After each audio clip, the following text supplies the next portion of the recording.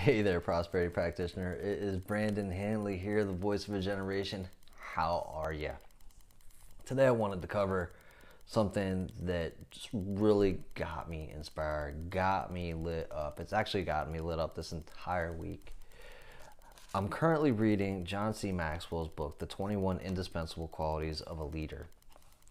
And chapter four really got me lit up. It's about communication and a couple of really huge lines that, that, that just kind of spoke to me. The first one came from uh, if a leader can't get a message across clearly and motivate others to act on it, then having a message doesn't even matter. So, you know, uh, one of the things that I haven't always done was give a call to action. And that's on me. That's because I was like, well, that's just marketing, and I don't want people to, you know, it should be should be inspired action. I shouldn't have to ask them to do anything. Well, if you don't ask somebody to do something, they probably don't know that you want them to do it, right? Uh, like I've got my two sons, Finn and Liam, and if I don't ask them to clean their room, they probably don't know that I want them to do it. You know, uh, and and there's so many different ways that that goes. So one of, one of the things I want to ask you guys to do that if you're enjoying this podcast, if you are enjoying some of these Facebook live videos, or if you're enjoying some of the videos, share them. Uh, share them and tag somebody you know that may enjoy them. Uh, and if you're checking out the podcast, go over to iTunes, leave a rating and review. Let me know what you're thinking, and or join the Facebook group. Join the Prosperity Facebook group. I'm currently running a 21 day challenge to work on some of these habits that can bring you greater happiness and more prosperity. Outside of that, the quote, I've got a quote for you today that's a little bit outside norm. And like I said, I wanted to focus on this post that I made that totally relates to it. Well, it, it was inspired by the first part I read there, and then uh, the second part, which was Field Marshal Ferdinand's quote that says, The most powerful weapon on earth is the human soul on fire.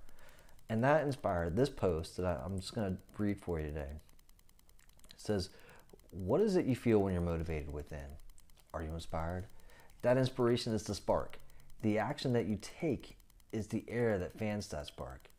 Repeated actions on the same sparks are like bellows in a forge, and gradually that spark becomes a flame and your soul is on fire. You ask, What is the soul? And, who, and how will I know that I'm on fire?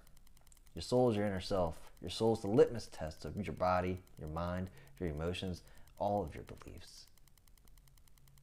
It is also what extends beyond you and you don't want anyone to see.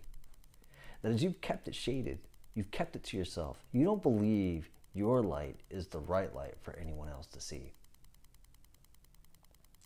And you will know that you're on fire when you take a gasp, when you realize that this quote is true for you when you realize that the light that is within you allows much more than just a dim LED like a phone along the dark path, each step becoming more treacherous than the last.